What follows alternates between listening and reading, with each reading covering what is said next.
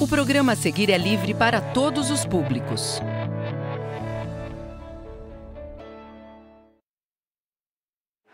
Bom dia, galera do segundo ano, tudo bem com vocês? Eu sou a professora Genoveva e estou aqui para mais uma aula de matemática, isso mesmo. Hoje nós vamos então finalizar aí a nossa sequência didática, não é? As nossas aulas de recuperação do material a aprender sempre da segunda sequência, tá bom? E eu não estou sozinha, olha quem está comigo, professor Joelson, bem-vindo. Obrigado, Progenô. Olá, bom dia, estudantes do segundo ano, professores, pais que acompanham essa aula. É um prazer estar aqui com vocês. Isso, e hoje nós vamos aí aprender um pouquinho mais, não é? Sobre como resolver situações problema. Então fiquem bem atentos e vamos pedir para o oráculo já colocar aí na tela para nós a habilidade de hoje. Vamos lá? Olha o título da nossa aula: Como resolver uma situação problema. Hum, título bem sugestivo, não é? Bem importante aí que todos nós precisamos saber. A sequência didática 2, com o tema aí de números, coleções, operações e geometria, chegou então ao fim. Essa é a nossa última aula, aula 10. A disciplina é matemática para a turma do segundo ano Estamos aqui pro Genô, pro Joelson. E olha só a nossa habilidade de hoje. EF02 MA06, que diz respeito a resolver e elaborar situações problema de adição e de subtração, envolvendo números de até três ordens, com os significados de juntar, acrescentar, separar retirar utilizando estratégias pessoais ou convencionais. Então, nós vamos resolver e elaborar, mas focando mais aí no resolver mesmo as situações problema, utilizando estratégias diversas, não é? Estratégias pessoais. Okay? Vamos usar as estratégias, então, para resolver as situações problema. Isso mesmo. Mas antes de irmos para o problema propriamente dito, para aquela situação, problema, vamos pensar um pouquinho sobre o nosso título, aí sobre o nosso tema apresentado. Vamos para as reflexões? Olha vamos lá. Vamos sim, Progenô. Vamos juntos refletir? Vamos sim. Observem essa imagem. Hum, podemos ver aí diversas coisas, não é mesmo? E pensando em situações problema, no que essas imagens nos podem ajudar então hum. a pensar sobre isso? Será que podemos pensar aí um pouquinho sobre coleções? Temos ali alguns brinquedos, não é? Temos objetos, né, mobiliários aí. Isso. De, de uma casa. Podemos pensar aí na quantidade de objetos desses Ou, móveis. Isso, olha, por exemplo, aqui um guarda-roupa. Por exemplo, na quantidade de portas, ele tem aí duas portas. Será que poderíamos pensar nos, numa situação, problema, para colocar esse móvel nela? Por exemplo, quantas camisas, vamos dar um exemplo? Quantas camisetas eu poderia organizar em cada uma das portas, em cada um dos lados, não é? Deste guarda-roupa. Se eu tenho uma quantidade X, como que eu poderia fazer, não é? Temos ali algumas gavetas também nesse outro móvel, olha. Temos três gavetas. Isso. Ou se eu pensar nesse móvel, e nesse imóvel, posso pensar na quantidade de portas que eu tenho, a quantidade de portas e de gavetas. E ainda se eu tenho gavetas internas, eu posso usar todos esses números, não é? Isso, e fazer a comparação entre eles, não é mesmo? Olha só, nós temos também aí alguns livros que estão fora da estante e temos também alguns livros aqui na estante. Podemos pensar também nessa coleção, não é mesmo? Podemos pensar na coleção de livros, não é? E ter aí situações problema, para serem resolvidas por colegas nossos ou por nós mesmos. Exatamente. A gente pode brincar, inclusive, de desenvolver, de fazer situações problema, não é, professora Genô? Isso. Ah, um detalhe, quando nós vamos criar ou formular aí uma situação problema, nós precisamos pensar em todos esses elementos. Precisamos pensar em personagens, não é? Quem eu vou utilizar ali, pensamos em alguns nomes, e pensamos também no que terá nessa situação problema. seja uma estante com livros, sejam alguns brinquedos por organizar, sejam ali alguns móveis, só para vocês refletirem a esse respeito. E vamos então agora verificar o que nós vamos de fato aprender nesta aula. Vamos lá? Vamos para a próxima tela. Olha só. Então, nesta aula nós vamos aprender Vamos aprender a resolver situações, problema que são comuns no nosso dia a dia. Isso mesmo. Situações, problema que são comuns no nosso dia a dia. Todos nós passamos por diversas situações, não é? E muitas vezes precisamos ali resolver rapidamente determinadas situações. Então, vamos partir aí para a nossa próxima tela Vamos e verificar já as atividades que estão propostas para vocês nesse, nesta aula de hoje? Vamos ver? Vocês se lembram aí dos nossos personagens, não é? A nossa sequência didática contou com diversos personagens. E hoje nós vamos falar aqui do Tiago e do Bruno. Então, o Tiago, ele desafiou o Bruno com a seguinte proposta. Olha, mais um personagem aí entrando na nossa situação. Mateus tinha cinco carrinhos. Ganhou alguns no seu aniversário. E agora, Mateus tem 12 carrinhos. Hum, nós já temos aí uma situação feita, montada? Bom, nós temos o início dela, não é? A introdução. Nós conseguimos perceber que para nós resolvermos o que se pede, que aqui ainda não foi pedido, nós precisamos entender exatamente o que será pedido e o que nós estamos lendo. Então eu vou convidar vocês para fazer a leitura conosco mais uma vez, tá bom? Então aqui diz assim, olha, Tiago desafiou Bruno com a seguinte proposta. Mateus tinha cinco carrinhos. É importante, nós já conversamos sobre isso, fazer a marcação aí, grifar, destacar os dados principais ali da situação problema, para depois, na hora de resolver, ficar um pouco mais claro, mais fácil para nós, não é mesmo? Sim, então nós já destacamos que o Mateus tinha cinco carrinhos, conforme você fez aí no quadro. Progenou. Exato. E ele ganhou. Vocês se lembram que a nossa habilidade gira em torno de resolver ali situações, problema de adição, problemas que envolvam ali adição, subtração, com essa ideia de juntar, acrescentar ou até mesmo retirar. Então, nesse caso aqui, quando eu falo que o Mateus ganhou, na nossa mente já vem o quê? Aquela sensação de que foi acrescentado alguma coisa, não é mesmo? Ele ganhou, ele juntou mais alguma coisa a algo que ele já tinha. Então vamos pensar aí na situação, olha só. Ele ganhou alguns, ele já tinha cinco carrinhos e ganhou alguns. Esse alguns nos diz quantos são? A Promaísa Progenoveva Sim. escreveu ali no chat que esse alguns já nos dá pistas de que, puxa, temos uma quantidade não identificada aí. Temos um número não Exato. identificado e que poderá ser o assunto do nosso problema. Poderá porque a gente ainda não conhece a situação completa, não é? A gente tem aí Sim. apenas uma situação estabelecida, não um problema ainda. Sim, isso mesmo. Muito bom, obrigada pela contribuição aí, professora Maísa. E olha só, então ele ganhou alguns, nós não sabemos quantos são, não é? E vamos continuar fazendo a leitura. Vamos lá? Quando que ele ganhou esses alguns? No seu aniversário. É o que diz ali.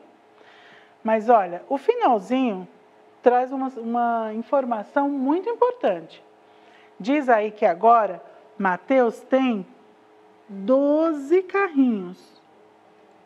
Hum, nós podemos ver uma situação inicial, não é?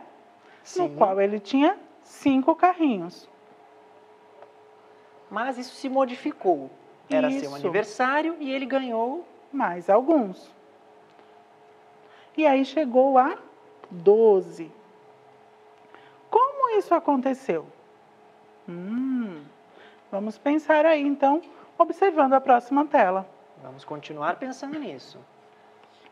Aqui nós podemos visualizar, então, a quantidade de carrinhos que o Mateus tem agora.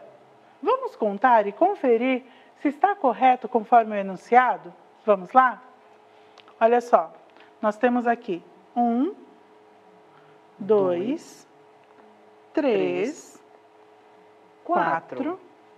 Hum, na primeira coluna nós temos quatro. E aí continuamos. Cinco, seis, sete, oito. Também temos quatro na segunda coluna, não é, Progenor? Isso mesmo, já percebemos que as colunas elas estão organizadas com quatro carrinhos em cada uma.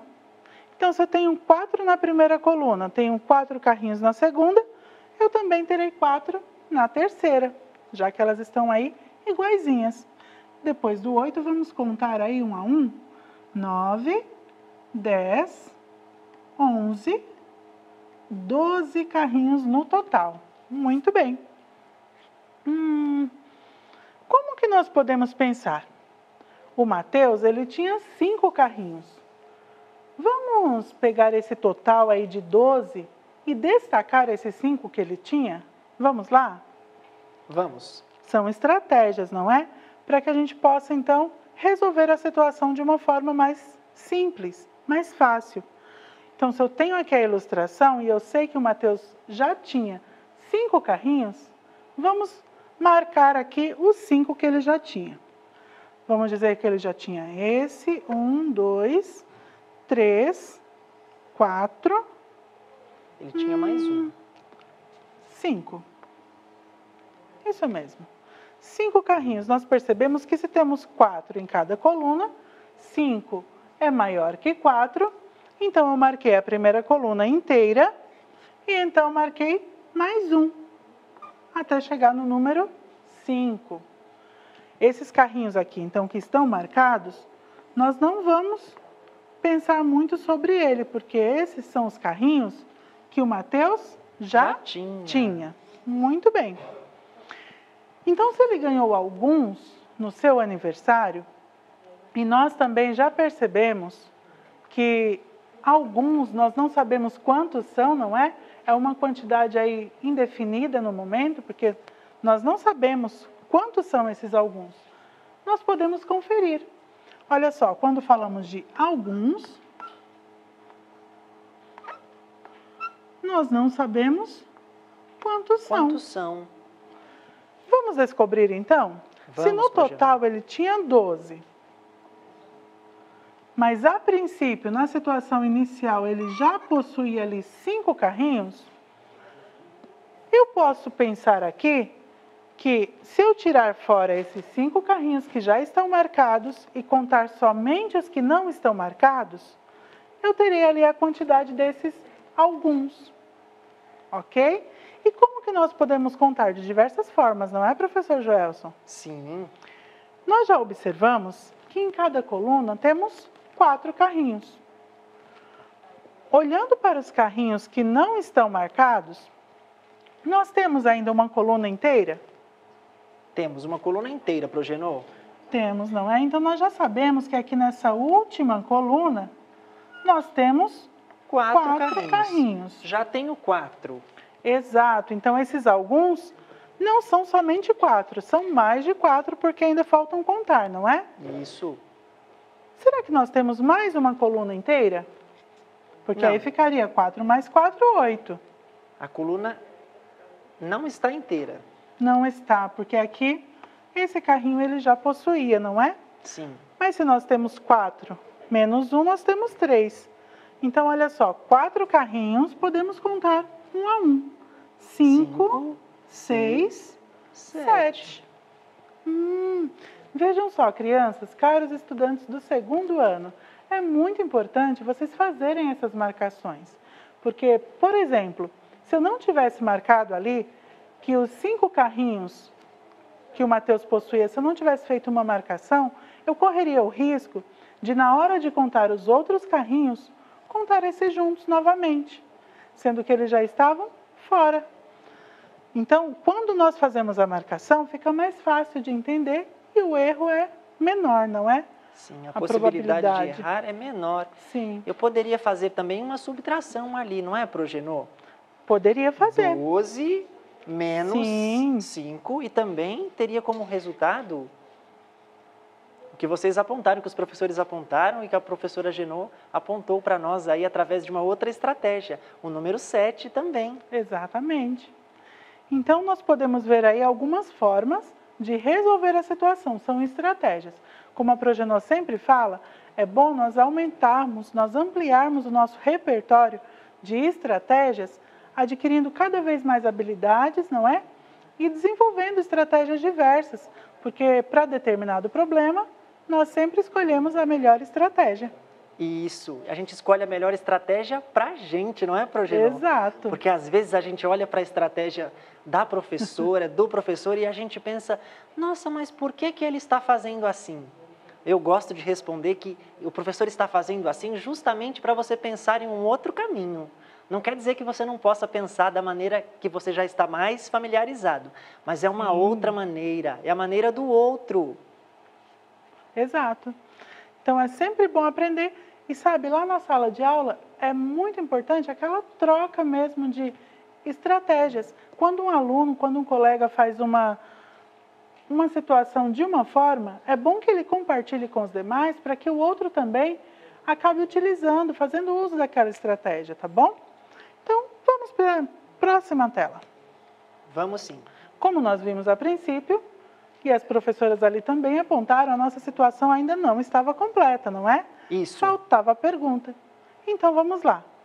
Veja os registros que Bruno fez para entender a proposta da atividade. Então, quantos registros, ou melhor, quantos carrinhos Mateus tinha antes de seu aniversário? Ah, Progenô, então é essa a pergunta que finaliza o nosso problema? Isso é uma das. Quantos carrinhos Mateus tinha antes de seu aniversário? Nossa, essa pergunta está muito fácil. Vamos pensar aí novamente no enunciado? Vamos, Deixa eu ver se ele está aqui. ele está Voltando. antes. Isso, olha. Vamos ler mais uma vez. Tiago desafiou Bruno com a seguinte proposta. Mateus tinha cinco carrinhos. Ganhou alguns no seu aniversário. Agora, Mateus tem 12 carrinhos. Só observando aí o enunciado, nós podemos encontrar a resposta da pergunta feita? O que, que vocês acham? Já está ali a resposta, não é, Progenô? Exato. Então, a nossa atenção na leitura, em organizar as informações, é super importante. A resposta para essa pergunta já está ali, dada no Isso. enunciado. Muito bem. E observem, foi o que o, o que o Bruno disse.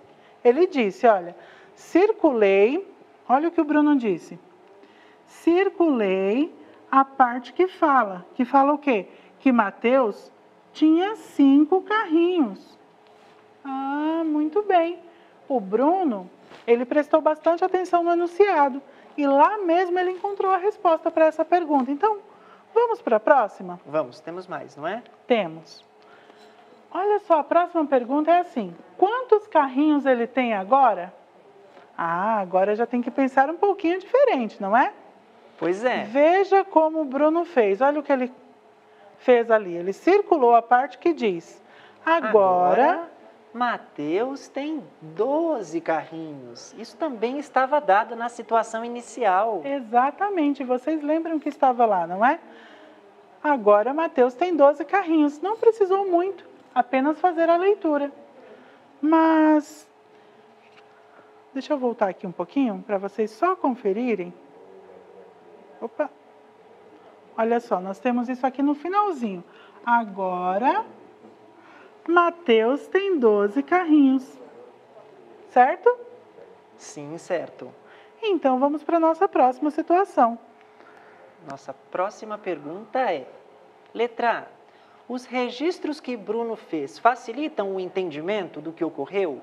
Por quê? Hum, aí nós vamos perguntar para vocês. Vocês acham aí que facilita o entendimento esses registros que ele fez quando ele coloca eu circulei a frase que falava tal coisa? que, que vocês acham? Ele selecionou as informações que ele achou que Isso. seriam relevantes e já destacou ali, circulou, organizou essas informações. Vocês acham isso importante, estudantes do segundo ano? E por quê? Vocês acham que isso facilita a resolução? Eu vou pedir para os professores também eh, contribuírem. Eu vou ler para os estudantes alguma sugestão que aparecer no chat pelos professores, que também acompanham. Isso, a Pro Patrícia falou que através da seleção dos dados nós podemos, então, pensar na solução. Exatamente. mesmo. Passou. Muito bom. Porque ajuda a organizar as informações do enunciado, a Pro Cristina. Então vamos registrar assim, não é? Os registros que Bruno fez facilitam o entendimento do que ocorreu? Sim, eles Sim. facilitam. E por quê? Por que facilita esse entendimento? Nós vimos aí que porque